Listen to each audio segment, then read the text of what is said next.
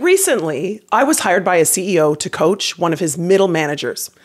The CEO told me that this particular manager was an emerging leader. He was showing signs of being ready for promotion, but he really needed to demonstrate credibility and leadership. Last week, when we were in our third one on one coaching session, this young, emerging leader admitted to me that he often feels imposter syndrome and he could use a confidence boost. He and I decided to create a list of strategies for him to improve his confidence and his credibility. His list included many mindsets, frameworks, and tactics that we went through one by one. And after our coaching session, I thought to myself, this would be a really great list to share with the Talk About Talk listeners. So, what I've done is I've taken seven of the strategies on this list, and I'm going to share them with you now. These are the seven strategies that I personally use and that seem to get the most traction with my clients. This list of strategies includes both mindsets and tactics. My challenge to you is to identify a couple of the things on this list that you can use to boost your confidence and your credibility. Are you ready?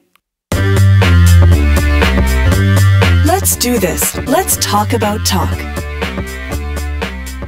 Welcome to Talk About Talk podcast episode number 158 Seven Strategies to Boost Your Confidence and Your Credibility. In case we haven't met, my name is Dr. Andrea Wojnicki. Please just call me Andrea. I'm your executive communication coach. I coach business executives like you to improve their communication skills so you can communicate with confidence and clarity. Then you establish credibility, and then you create impact ultimately achieving your career goals. Sound good? If you want to learn more, check out talkabouttalk.com and I've got lots and lots of resources for you there. I've got one-on-one coaching, I've got boot camps, I've got online courses, I've got information about corporate workshops. There's the archive of this bi-weekly podcast, and when you're there, I really hope you'll sign up for my email newsletter. That email newsletter is your chance to get free communication skills coaching from me every two weeks in your inbox. Sound good? Okay, let me start with a quick story about my own confidence, or should I say, lack thereof. Some of you may have heard this story before. Early in my career, when I was working in brand management at Kraft Foods, I was asked to speak at a national sales conference. This was a great honor for me. As you can probably imagine, I prepared myself thoroughly. And when the day finally came, I stepped out on stage and I completely lost it. I could feel my heart pounding, my face turning red, my hands turning clammy. I had sweaty armpits. I was shaking. It was a lovely sight, let me tell you. It was all I could do to walk across the stage, grasp onto the podium, and read my presentation, word for word from my written notes. Pathetic. Disaster. When I was done, I ran off stage and my boss Sandra asked, Andrea, are you okay? No, I am definitely not okay. I went to a quiet place and I collected my thoughts. First of all, I thought to myself, this can never happen again. So, what am I going to do about it? Two things. One, I'm going to volunteer every opportunity that I have to do public speaking.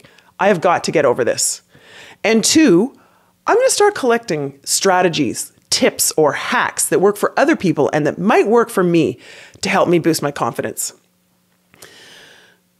On that day, I started to create a mental checklist of different mindsets and tactics that might help me with my own confidence. And now, as a communication coach, I continue to add to this list and share it with my clients.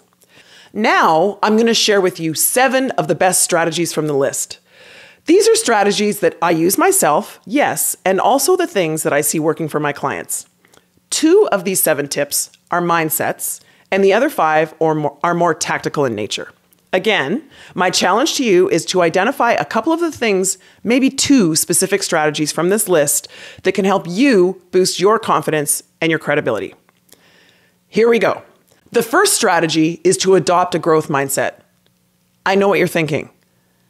Andrea, a growth mindset is when I reframe my mistakes and my failures as learning opportunities. That's great, but it's not going to cut it when I'm standing in front of a room giving a big, important presentation and I've got bad nerves. Okay, fair enough. Adopting a growth mindset when you feel nervous and maybe your presentation is failing, this growth mindset might help your psychological well being in the long run, but it's not going to help your career in the short run, is it? I get it. I have a different way of thinking about a growth mindset, though, when it comes to conquering your confidence issues. It's about focusing on your genuine curiosity, on your growth, on your learning mindset. Recently, I've been doing a lot of Q&A or question and answer sessions live, some of them in person and some of them virtually. I never know what questions people are going to ask me, and sometimes I get a little nervous. So, do you know what I do? I recite my growth mindset mantra. It goes like this I know what I know, and I'm keen to learn more. There are really two parts of this mantra. First, I know what I know. This is me reminding myself of my expertise. More on that in a minute. The second part is I'm keen to learn more. Here, I'm reminding myself of my genuine growth mindset, my focus on learning and growing, and my curiosity. When you focus on your curiosity and your desire to learn, it's almost like no one can catch you up on anything. Imagine someone asks you a question that you are in no way qualified to answer. If you have a growth mindset, you could say something like, Wow, what a fascinating question. I don't even know where to begin. But let me tell you what I do know. And then you could share with them based on my expertise or based on my experience or even based on my background. Then tell them what you know. And then you say, I'm going to do some research or I'm going to talk to someone else and get an answer. And I'm, then I'm going to get right back to you. Thank you. Wow, you survived a really difficult question, all based on your growth mindset. This is just one example of how you can use a growth mindset when you're feeling nervous. I encourage you, whenever you're feeling a lack of confidence, to focus on your growth mindset. Consciously consider your desire to learn and your curiosity. This can take a lot of pressure off of knowing everything and having the right answer for every single question. So, that's the first strategy I'm offering you adopting a growth mindset. The second strategy is also mindset related it's focusing on your unique personal brand. What I mean here is specifically focusing on your unique strengths and passions. Often, when we're feeling nervous, it's because we have an implicit belief that others are going to expect us to know everything. Focusing on your personal brand or your unique strengths and expertise can take the pressure off here big time. It's not that you're saying you're good at everything, and it's not that you know everything, but you do know what your strengths are. When I coach ambitious executives on identifying and articulating their personal brand, we usually come up with a list of several themes. They could be personality traits, they could be their leadership style, they could be their industry or their disciplinary expertise. This is where they have legitimate expertise and true, genuine passion. After we create this page listing their personal branding themes, I encourage these folks to print it off or maybe create a screenshot. And then every time they're going in to lead an important meeting or make an important presentation or maybe even go into a job interview, make this page the last thing you look at before you go into the room and before you go out on stage. Again, it's not that you're good at everything, but the items on this page are the things that you know are your unique strengths. And this can't help but elevate or boost your confidence. I remember when I was in a board meeting many, many years ago, and the conversation got sidetracked into investments that the firm was making. I remember looking across the boardroom at a bunch of guys talking about the pros and cons of various investment strategies. And I remember thinking, why am I here? Am I an imposter? Do I belong here? I have three degrees in business, and sure, I can talk about a balance sheet or an income statement, but this is out of my league. And then I reminded myself of the reason why I was brought onto this board. It was for my branding and strategy expertise. So, when there was a lull in the conversation, I raised my hand and I respectfully said, Based on our strategic priorities, my suggestion is that the investment strategy should integrate with these priorities, and so on. I remember consciously noticing everyone's chair turning towards me and a bunch of heads nodding. With that one sentence, I got the meeting back on track, and I also reinforced my professional identity as the branding and strategy expert in the room. So, the next time you feel like an imposter, remind yourself of your personal brand. Remind yourself of your superpowers and specifically your unique, unique strengths and your expertise. This can't help but boost your confidence and your credibility. So, those are the first two strategies, and both of them are mindsets. The first way to increase your confidence and your credibility is to adopt a growth mindset. And the second is to focus on your personal brand. Focus on your strengths. Okay, the third strategy is much more tactical it's breathing. You've probably heard this a million times. When you feel that shot of adrenaline, just take a slow, deep breath. I have a slightly different take on this one. This is based on what I've been reading lately. It's this slow your exhale. Very often, when we focus on our breathing, we think about our inhale. Instead, think about slowing your exhale. Here's the insight when you slow your exhale, your brain thinks, wait, she's not gasping for air. Everything must be okay. And then it is okay. Recently, when I've mentioned this to a few of my clients, we also talk about how there's almost like a positive placebo effect here. If you believe it's true by slowing your exhale will reduce your stress, then yes, the research shows that that is what happens. But also, because you rationally believe it, this just further amplifies the positive effect. So, that's the third strategy. Try it. Slow your breathing, specifically your exhale. Okay, moving on. The fourth strategy is something that I, I know gets a lot of traction with people. Like immediately when I tell them, I can see on their face that this is something that they're going to try. And then they often come back and tell me that it works. And I can also tell you that personally, I do this and it definitely works for me. It's this frame your nerves, that shot of adrenaline feeling, as a positive. Put another way, when you feel that shot of adrenaline, when you feel the butterflies, when you feel your body temperature spiking and your face turning red, consciously say to yourself, Yes, that adrenaline is fueling me up to perform.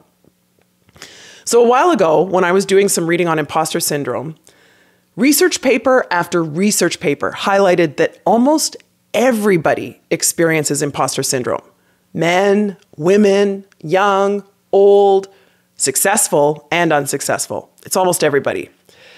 And almost everybody feels nervous. In fact, the people that do not feel imposter syndrome, the people that never feel nervous, they're the ones that end up showing up flat when they're on stage. You may have seen some of these folks in the past. Maybe you're at a conference and there's a panel with four or five people on stage. They're sitting on bar stools and they're asking questions or they're answering questions. And in- inevitably, one of them will come across as far too casual or aloof. This might be the person who's not feeling any adrenaline whatsoever. So the next time you feel that shot of adrenaline when you're quote unquote on stage, remind yourself that now you're fueled up and ready to perform. That adrenaline is positive energy. Okay, on to the fifth strategy. We've covered four strategies so far. The first was adopting a growth mindset. The second is focusing on your personal brand and your unique strengths. The third is breathing. Slow your exhale. And the fourth is reframing that nervous feeling as a positive. This is the fuel that you need to perform. The fifth strategy for boosting your confidence is emulation, as in copying. Here's the exercise ask yourself whose confidence do you admire? It could be a senior leader in your firm, or maybe a celebrity CEO, or perhaps it's a friend or a family member. When you feel those nerves, ask yourself, how would this person respond? How would this person act? And then copy them, act like them. I had an experience many, many years ago, and I've shared this a couple times, and it's very relevant here. I was a relatively new faculty member at the University of Toronto, and they asked me to give a lecture to the first year marketing students at Convocation Hall. This is an auditorium that seats thousands. I was honored to do this lecture, and let me tell you once again, of course, I was very well prepared. When the day finally came, I dressed in my favorite pantsuit and my favorite heels, and they asked me to arrive half an hour early so that they could get the AV set up. Like I said, this was a huge auditorium. When I walked in, the lights were all turned off except there was a spotlight on the stage. The AV guy hooked up my, my headset and my microphone, and he asked me to walk out on stage and test the audio and my slides.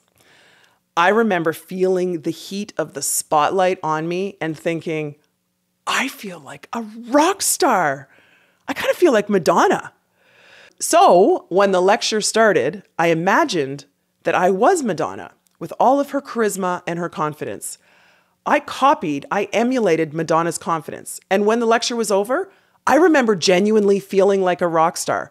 The young students got up out of their chairs, and not all of them, but many of them rushed the stage to thank me. And they were asking me, When do you have office hours? Are you going to keep teaching this course?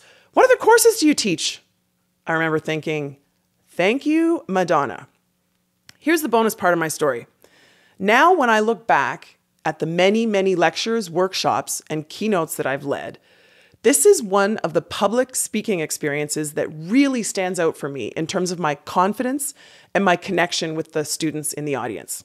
So now, whenever I'm feeling a lack of confidence, sure, I can act like Madonna again, but I can also emulate exactly how I felt when I was on stage at Convocation Hall. So here's the question for you When did you knock it out of the park when you were on stage? Maybe it was when you were in a job interview, or perhaps it was when you were leading a meeting or giving an important presentation. Ask yourself, what was my mindset for that presentation? Or what tactics worked? And then in the future, whenever you feel that shot of adrenaline, you can emulate or copy yourself from that experience. So that's the fifth strategy emulate or copy someone else's or your own confidence from a successful presentation that you made in the past. Okay, on to the sixth strategy positive self talk. The next time you're feeling nervous or feeling a lack of confidence, I encourage you to be very, very conscious of your self talk. What are you saying to yourself in your head? Instead of ruminating and focusing on your anxiety, give yourself a positive pep talk. How would a supportive friend speak to you if you were experiencing anxiety? A few years ago, I asked a friend of mine, Angie, to provide me with a pep talk before I went out on stage with some improv actors. Yes, I know. When the evening finally came, and there I was on stage, again with the spotlight on my face and my body temperature rising, I remember thinking of the pep talk, of Angie's words, and they all came back to my brain. Andrea, you got this. Andrea, there's a reason they asked you and not someone else to do this. You're going to knock this out of the park.